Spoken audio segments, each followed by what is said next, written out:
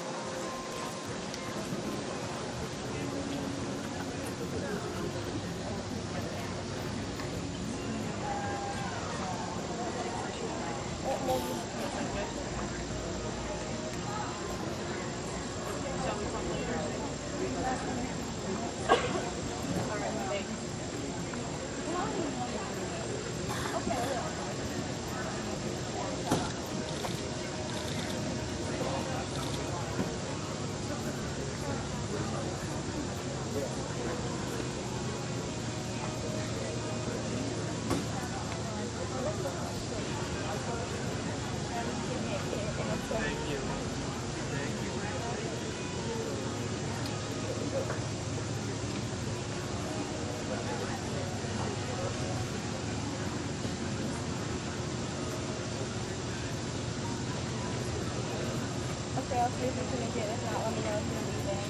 We're okay, we're. You're welcome to after the one. Me know, okay? I I'll come. We had to wake up at four thirty this morning. And I was like, okay, but we can hang out because still, because got you there, anything else so. It's got.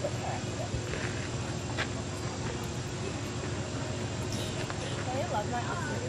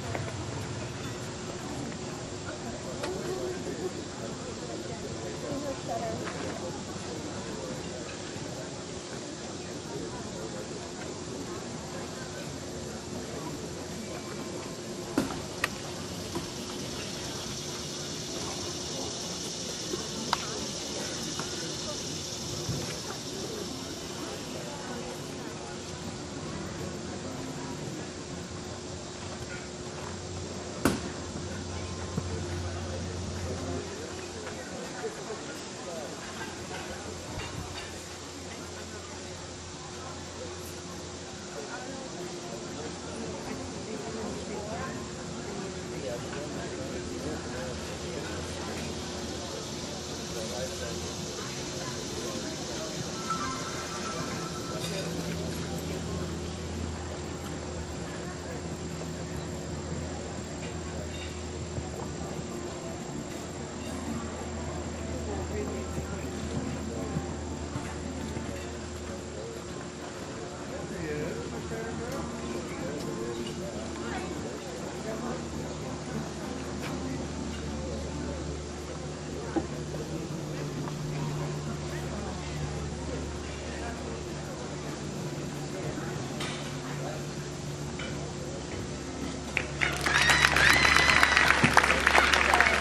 Jillian Kemenosh and Nelzon, number 156, recently back from the